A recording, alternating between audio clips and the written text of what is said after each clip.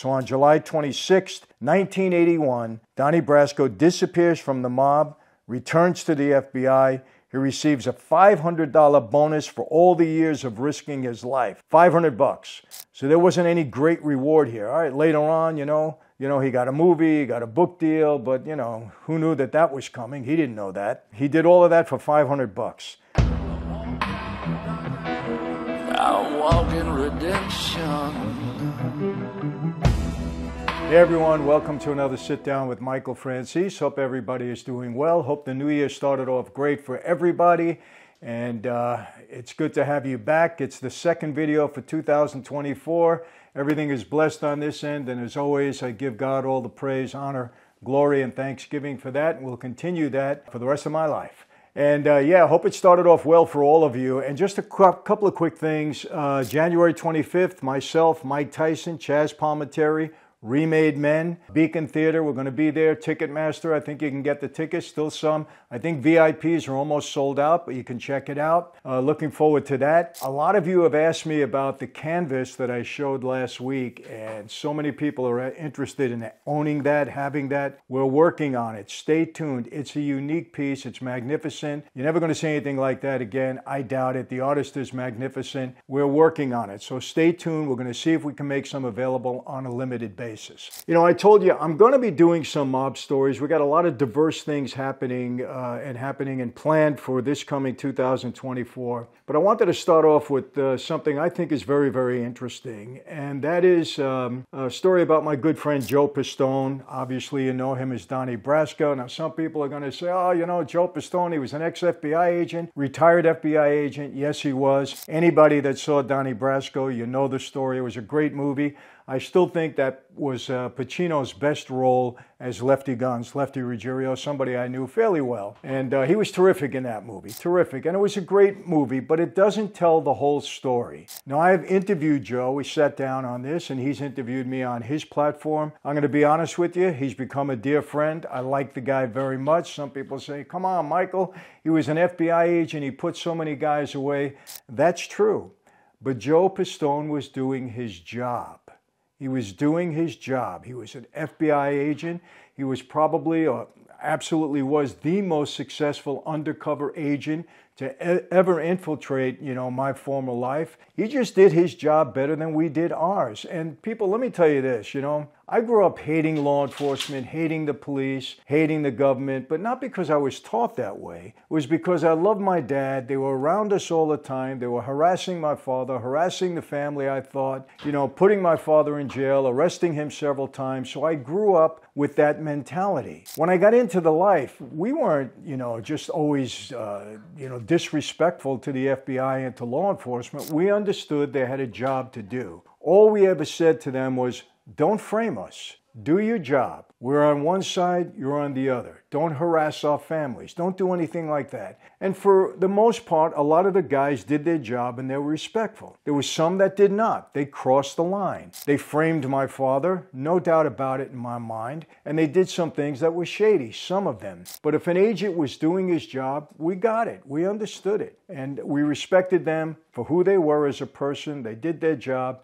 and in the case of Joe Pistone, Donnie Brasco, he did his job better than we did ours, better than the Bonanno family did ours. We accepted the guy. But I want to read a little about it and show you what was involved so that you understand what that guy went through. He was undercover for five years. Originally, it was a six month deal. It ended up going five years, and he was deep, deep, deep, deep undercover. And let me tell you this at any point in time, had he been you know, outed, so to speak, he might have walked into a room and it would have been a tough deal for him. You know, who knows what would have happened? Would he have been killed? Would he have been beat up? Who knows what would have happened? I don't know. But it could have been serious uh, problem for him, obviously. But he knew that every single day that he was involved with these guys, every single day. So it took, uh, you know, an amount of courage to do that. He was a different kind of guy and to do it so well. But let me read out of this book, and I've read something out of, this book before, and you can consider this kind of like a mob movie Monday, except that I'm going to be reading stuff and giving you my perspective. Bill O'Reilly, uh, Killing the Mob. It's a great book. There's good information here. Bill O'Reilly's a brilliant guy. Yes, he's conservative. Doesn't matter if you like him or not. He writes good books, and he's got a great co author uh, Martin Dugard, I'm sure, that does a lot of the research, and they do a good job. So uh, I'm going to read something out of this about Joe Pistone that you didn't see in the movie and that you don't know, and it'll kind of give you some insight as to what it takes to become an undercover agent, a really undercover agent. And look, I had undercover operations on me, so I knew a guy also that did a good job. Um, you know, fortunately, it didn't go anywhere. Uh, but he did a good job. But let me read this. It's the spring of 1976 when Joe Pistone volunteers to expose the mob. He'd been an FBI agent for almost seven years with a wife and three daughters. He was living in New York City. Never before has the Bureau successfully placed an agent inside the mafia. So remember this. Prior to Joe Pistone going undercover, there was never an agent that ever went inside our life before. He was the first. And Pistone's chances of success in that clandestine world were very slim. True. And yet, if ever there is an ideal candidate to pull this off, it's Joe Pistone. Now, why are they saying that? He had all the makings of what a mob guy should be, so his cover was really good. Let me read about it. The special agent grew up in Paterson, New Jersey. A lot of mob guys around there. A street guy, in his own words. He hung out in mob run social halls and witnessed mafia life firsthand. I knew how wise guys acted, he will write in his autobiography. I knew the mentality. I knew the things to do and not to do. Keep your mouth shut at certain times. Don't get involved in things that don't concern you. Now, one thing is is uh, is interesting. He grew up around all of these mob guys, but that's not who he wanted to be. He didn't aspire to be in the mob. For some reason, he went in a different direction.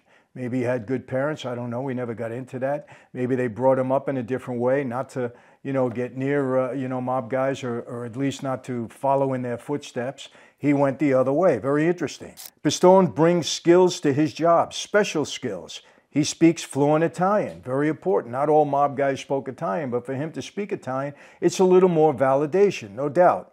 He was born into a family of Sicilian heritage, obviously important. He looks the part, powerfully built at six feet tall, 180 pounds with broad shoulders, yes, he is, high forehead, and the tough streetwise confidence of a man who can handle himself, handle himself under pressure. On the surface, Joe Pistone easily passes as a mob foot soldier. I got to tell you, I was at a conference with uh, all the pro sports. It was a security conference, and I was there with Joe Pistone. And this was after, obviously. We sat and we answered questions. And when I got up off the table with Joe, I said, Joe, you know, the way you respond, you could be the mob guy. I said, maybe they can mistake me for the FBI agent. Who knows? But you could be the mob guy. You actually are that guy. And he laughed and he said, well, Mike, that's why I was able to make it all those years.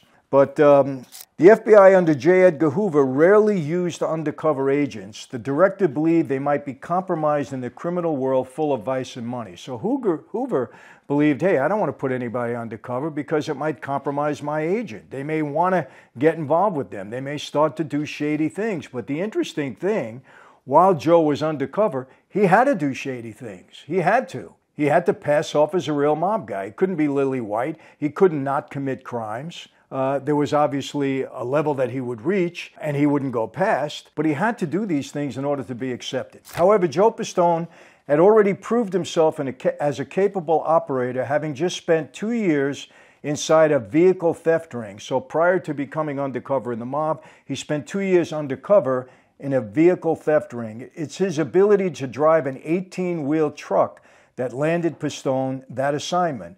But now the stakes are far higher. The special agent must convince the ferocious Bonanno crime family to trust him with secrets, a daunting task to say the least. Is it daunting? I don't know. You know, I got to tell you, people, a lot of guys let their guard down in that life. You know, when people come around with money, you know, a lot of times people don't they don't do their homework. They don't search. But in this case, I think they did. You know, they did go a little beyond what they normally would do and they did search. But re- listen to this before going undercover, Pistone spends months immersing himself into his persona as a small time jewel thief named Donnie Brasco. That's where it came from. He attends the FBI gemology classes, learning about precious stones and how they are illegally bought and sold. So he went to school. You know, you remember the movie? He passed himself off as a, uh, you know, a gemology expert, and he went to school to actually study this so that he wouldn't get caught up. Pistone's name and employment record erased from all FBI files. They had to sanitize his record so nothing would ever come up in case our guys really did their homework. Co workers and even good friends are not told of his assignment. They didn't know what he was doing. His wife and his daughters are relocated to a home in a different state with a new last name and the realization that they will not see Joe for months at a time. And even then, he will only be home for a day or so. Now imagine this. His wife had to agree to this. His wife had to say, okay, Joe, I know you're dedicated to the FBI. You're going on an assignment, which, by the way, he couldn't even tell his wife and children what the assignment was. Now, Joe discussed that with me. Very, very hard. Imagine that. Imagine being with your wife, your kids, and not being able to tell them what you were doing and being away from home for so long. All right, they knew he was, she knew he was an FBI agent, but still, it's a rough assignment. At first, the family is fine. Maggie Pistone and the girls all welcome their new circumstance, but in time, uh, the strain of Pistone's job and the long periods of separation will lead Maggie to deeply resent her husband's job. Come on, how could she not? I mean, that's her husband. He's away from home, can't talk to her for months at a time. You know, she doesn't know what's going on, FBI or not. You start to get resentful for that. I mean, imagine you women that might be listening, think about it. To escape questions, his teenage daughters tell friends their parents are divorced. That's how separated he was from the family. Kids didn't know what to say, told them they were divorced. He will miss all the family birthdays, all of them, and graduations. Graduations? Making matters even worse, Pistone is not allowed to tell his family about his assignment, leaving them completely in the dark as to why he is abandoning them for such long periods of time. Look at the sacrifice the guy made. You know, and again, some people might say, come on, Michael, you know, he was undercover, he was no good, he was putting people in jail. He was doing his job. I will say that again. People, when law enforcement does their job, how can you complain? This is what they do. This is the oath that they took, okay, to uphold the law, to root out criminal activity. When a cop on the street is doing his job, do you get upset with him? Of course not. Do you call him a rat or a snitch because he's locking people up? No, he's not doing his job. That's what they do. When legitimate people go to the law over something ha- that happens, that's what they're supposed to do. They're supposed to abide by the law and, you know, do what they're supposed to do. Do we like it? Not all the time, you know, but that's what they're supposed to do. The FBI gives Pistone two apartments, one in Miami and one on the upper, upper, East Side of Manhattan. He also possesses, under his new name, credit cards, social security identification, a driver's license, and a monthly stipend of spending money so he can look and act like a gangster. Joe Pistone is a very driven man, but he feels enormous guilt over leaving his family. He does. And he talked about that with me. Joe and I got a little bit personal. And by the way, I met Joe on the street one time. He and Tony Mirra, he was with Tony at that time, came to my uh, Mazda dealership that I had in Hempstead. And I had a little business with Tony. Uh, you know, we spent some time talking and I met Joe. And uh, he was nice. You know, he didn't get involved in the conversation too much, but he was there. I don't recall too much of what happened. But I always teased Joe. I said, Joe, I'm glad I only met that one time on the street. Enjoy knowing you now. But didn't want to know you then because you were very effective in doing your job. Okay, and September 1976, Donnie Brasco goes into action. That's when this started. September 1976, I got made a year before, so I was right in the middle of it. He is on his own, unable to make immediate contact with the Bureau if things go wrong. The agent meets once a month with an FBI official who replenishes his cash, and they had to have a clandestine meeting, obviously. But as far as protection is concerned, Brasco has none. The chances of taking a bullet behind the ear are very high. The undercover operation is supposed to last six months. Instead, it continues for five perilous years. Supposed to be six months, it went on for five years. Now, why? I guess because he was doing such a good job, gathering so much intelligence, gathering so much information on organized crime, especially the Bonanno family. They just let it continue, and, and he was into it. He let it go.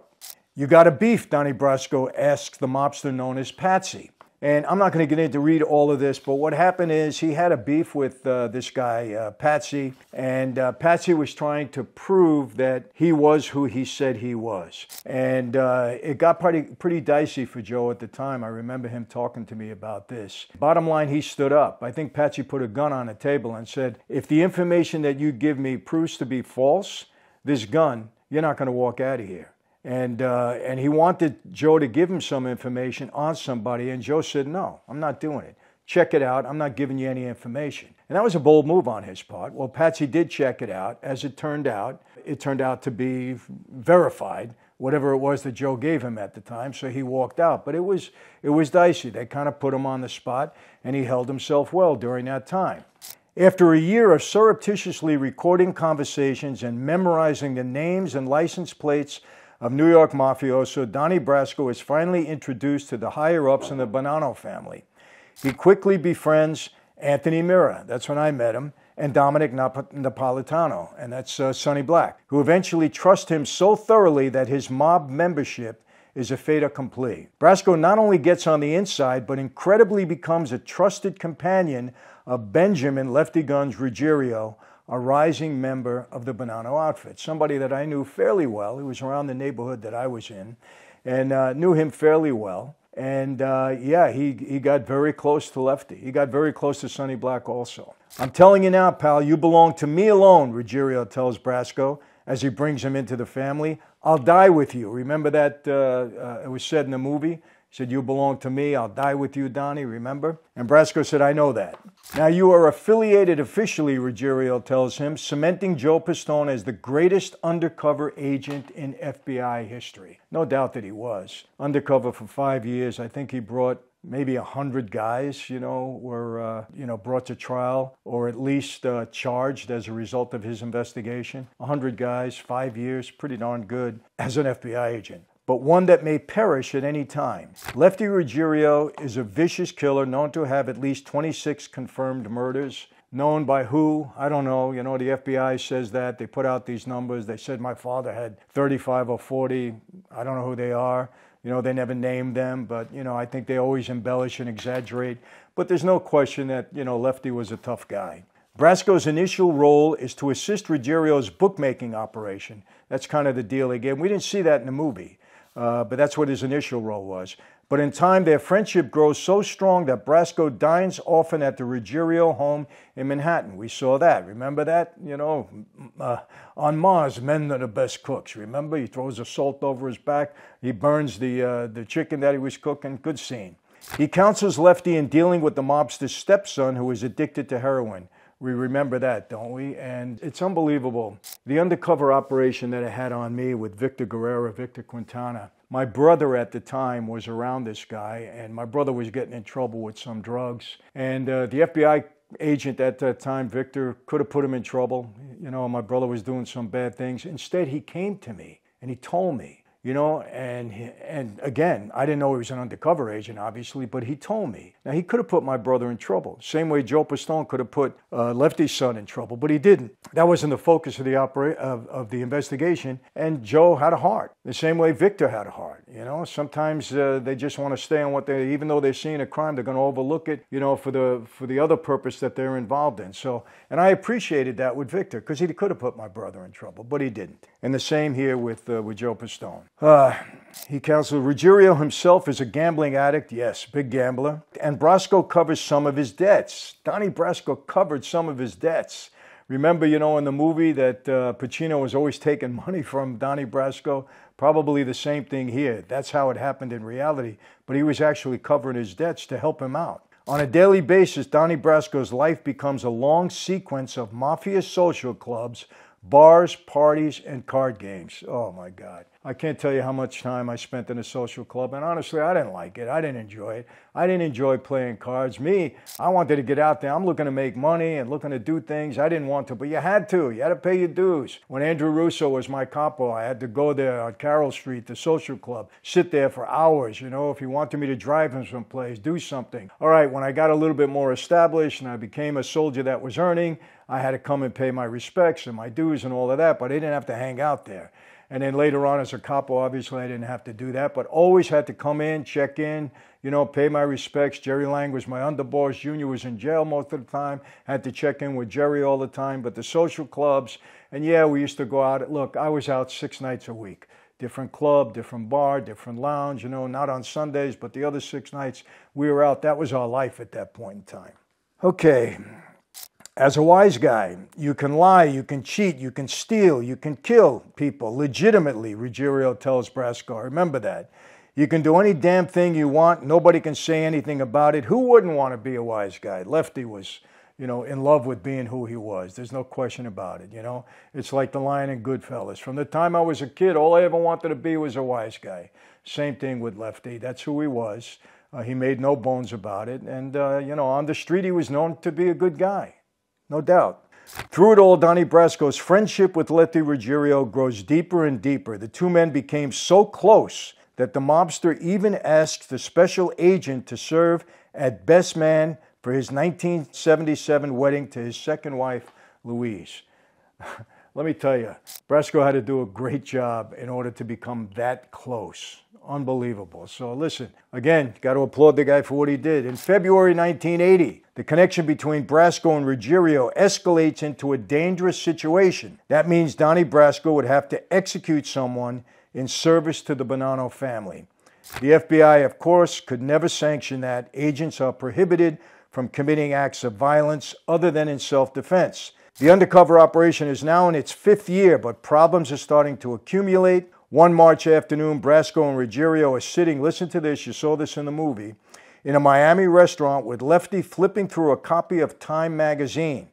The mobster notices an unusual photograph of a yacht named Left Hand. The vessel is part of a story about the FBI and its undercover assets.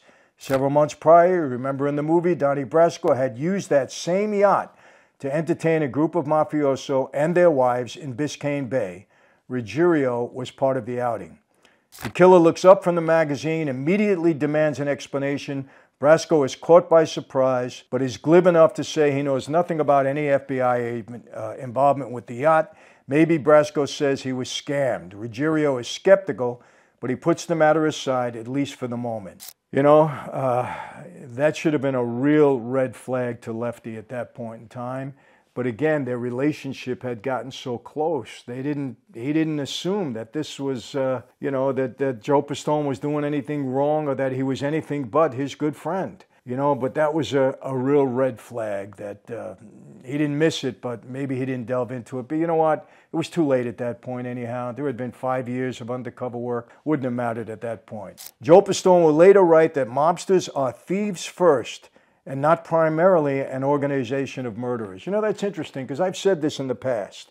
You know, when we took our oath to omerta, it was an oath of silence. I've said this many times. It wasn't an oath to lie, steal, kill, cheat, and murder. That's not what the oath was. And that's not what we did on a daily basis, okay? Did we do it? Did we engage in criminal activity? Of course. But did we take an oath to become a murderer? No. Did we said if we were called upon to do something, we would do it? Yes. You know, so there's a difference. And Joe kind of validates that. We're not out there murdering people every single day, and this isn't a major course of business. And most guys, you know, uh, Roy DeMeo excluded, maybe. Greg Scarpa may be excluded. Most guys, that's not what they wanted to do. That was a last resort. Understand that. But in the midst of his new life comes a stark reminder of what happens when the mob turns on one of its own. On March 21, 1980, two weeks after the left hand incident in Miami shatters the agent's belief that he is invincible, a major mafia hit becomes news, and that's uh, Angelo Bruno. He was assassinated, he was killed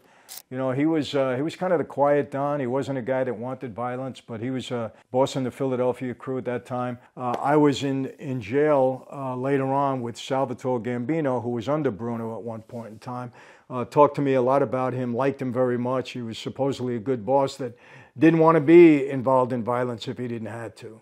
Uh, so that started to get into Pistone's head. He started to see, hey, violence is real here. And then you saw that part in the movie when three capos from the Bonanno family uh, were executed, brutally executed. You saw that, it happened there. So things started to really fall apart, and the investigation uh, was pulled. Let me just read this part. The Banana Gang War spelled the beginning of the end for Pistone as a mob undercover. But before he could extricate himself, the family ordered him to kill a man named Bruno Indelicato. I knew Bruno, he was on trial with me. Once that was accomplished, Donnie Brasco would be a made man. In his time as a member of the Bonanno family, Donnie Brasco has committed all manners of crimes, ranging from loan sharking to racketeering, but murder, too much. They wouldn't let him do that. So on July 26, 1981, Donnie Brasco disappears from the mob, returns to the FBI. He receives a $500 bonus for all the years of risking his life. 500 bucks. So there wasn't any great reward here. All right, later on, you know, You know, he got a movie, he got a book deal, but you know, who knew that that was coming? He didn't know that. Uh, he did all of that for 500 bucks.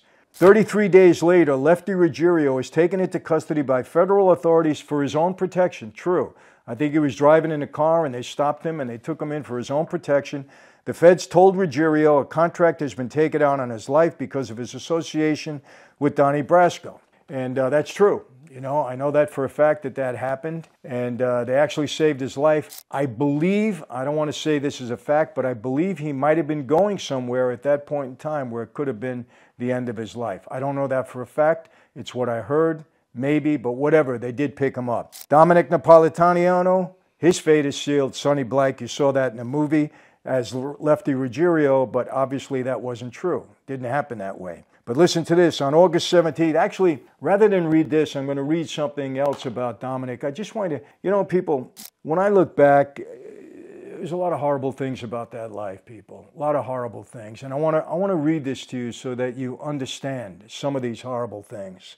On August 17, 1981, Napolitano was summoned to a meeting in a Bonanno associate Ron Filocomo's home in Eltingville, Staten Island, which was the home of Filocomo's parents anticipating that he would be killed. Sonny Black thought he was going to be killed as a result of him being called into this meeting. Napolitano gave his jewelry to his favorite bartender. You saw in the movie, Lefty was putting it on the counter in his house. Not the way it happened. Along with the keys to his apartment so that his pet pigeons could be cared for. He loved his pigeons. I remember that. I knew Sonny Black. Nice guy for me. Bonanno Capo, Frank Lino, I knew him too. And Steve Cannone, didn't know him, drove Napolitano to the Filocomo's house. The three men were greeted at the door by Frank Campa, knew him, who told them the conference was to be held in the basement. As Napolitano descended the basement stairs, Campa slammed the basement door shut, signaling for Lino to shove Napolitano down the stairs. As two killers, Robert Lino Sr and Filocomo were waiting at the foot of the stairwell. Napolitano was pushed down the stair, was shot and grazed by Lino Sr. When his gun failed to fire a subsequent shot, Napolitano told them, Hit me one more time and make it good, to which Filocomo responded by firing several 38 caliber rounds, killing him.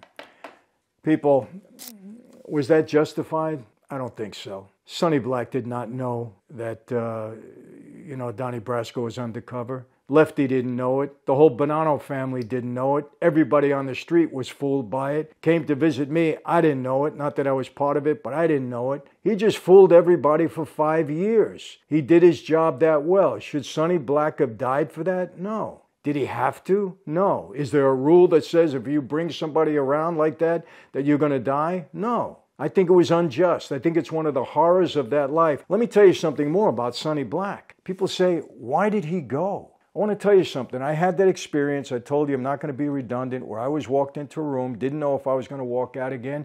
People said to me, Michael, why didn't you cut and run? And I say this it wasn't heroic, it was more robotic. We become so entrenched in that life that we say, okay, you know what? If this is it, this is it. Sonny Black, maybe in his thoughts, said, I have nowhere to go. I have nowhere to run. I screwed up. I'm going to take my medicine. Was it the right thing to do? I don't know. You know, I don't know, man. Uh, but I got to tell you, I give him credit for doing it. There's no question. Here's a man that was uh, courageous. Some people might call him stupid. I call it kind of courageous to walk into that situation. Napolitano's girlfriend Judy later contacted Pistone and told him shortly before his death, Napolitano had told her that he bore no ill will towards Pistone, knowing that Pistone was only doing his job and that if anyone responsible for taking him down, it was glad it was Pistone. She said that Napolitano really loved Pistone and was upset when he found out he was an agent. Napolitano could not believe that Pistone was an agent because of the things we had done together, the conversations that we'd had, the feelings that we've had. Man, that is tough. That is really, really tough. You know, they became so friendly. And I'm going to tell you something too. This broke up Joe Pistone too. I mean, he knew he was doing the right thing. He didn't want Napolitano to be killed. He didn't want that at all. He didn't know that that was going to happen. Yes, he knew that, you know, that there was jeopardy there, of course, but he certainly, you know, was regretful of it. He didn't want that to happen. He didn't want it to happen to Lefty. It's part of the horrors of the job when you go undercover and you're in a situation like that, really. But Napolitano, to tell uh, Judy, hey, you know what? I understand he was just doing his job, which is exactly what I said in the beginning. He was doing his job. And you know, you can't fault somebody for that. And Joe Pistone did his job a lot better than all the guys involved with him on the street did theirs. And you know, the sad thing is, um, you know, his body wasn't found for, I think, about a year later. And uh, hands were cut off. I mean, it, it was terrible where they found him. Uh, and I, I, don't think they were even sure that it was him because, you know, the body was badly decomposed, whatever. Uh, but it's a sad story, you know. Um, and I think some of this you probably didn't know wasn't put in the movie. And if you didn't read Joe's book, you didn't read it. So, what's my point in all of this?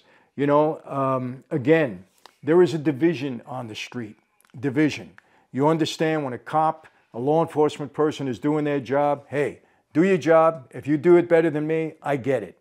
You win, we lose. If we do it better than you, then we continue, we do what I do, and you lose. That's just how it goes. It's the way of the street. We don't like to be framed and stuff like that because the government should never be able to violate the law in order to catch the criminals. The government has all the weapons, all the tools, they have everything going for them. If they can't do it the right way, then they shouldn't do it. They shouldn't do it because that's when you have a problem. That's when the government becomes weaponized and can go after its enemies anytime they choose. And you know what, people? It's happening now. Things that we worried about back then are happening now. This administration is weaponizing law enforcement to go after their political enemies and to go after people that disagree with their agenda. Open your eyes, it's happening now, and this is dangerous and it needs to stop for the benefit of every American citizen, okay, in this country and for those to come. That's just the way it is. That's what I believe. I'll die believing that because that's the right way to think. Now, let me tell you, you know, these are some of the horrors of that life, people, and um, it's a sad story. It really is. It's a sad story. But I'm giving Joe Pistone his due. Again, he is a dear friend, somebody I got to like very much. Um, you know, and we were on opposite sides at one time, but I get what he did and he gets what I did. And hey, you know what? Life goes on, people. And you know what? You try to make changes in your life. And people that might have been your enemies at one point are now friends or relationships. It all depends on circumstances and situations. So that's my story with Joe Pistone. And by the way, you know, I have I've never met Bill O'Reilly, never spoke to him, but he writes some good books. Read this book, you'll enjoy it. You can probably get it on Amazon anywhere. But uh, he does his research and uh, he does a good job. There's a lot in this thing that in this book that uh, that I found very interesting. Some things I knew, some things I didn't know. But look it up, you'll enjoy it. And that's it for today, my friends. How do I always leave you? Same way. Never going to change, not in the new year, not in any year. Be safe. And you know what? Let's pray that this year um, is a safe year for all of us here on our homeland. Let's just pray because Everything that's coming over the border, we have no idea, people. We don't. Just look at the news every single day the real news that tells you what's really going on. Be safe, be healthy. Hey, it's the new year. Everybody's packed in the gym. You know, for the next couple of weeks, right into February, we're going to see everybody working out, trying to lose that weight, going over the, you know, this New Year's resolution that they're going to really, you know, take care of themselves. And by March, end of February, goes right back to normal. That happens every year. So just uh, don't make a resolution you're not going to keep. You know, be realistic about it. And yes, and I really mean this, and I mean this for all my followers, all your families, all my friends, everybody on YouTube, all the guys uh, that we've spoken about. Uh, may God bless every one of you, you and your families. And yes, I will see you next time. Take care.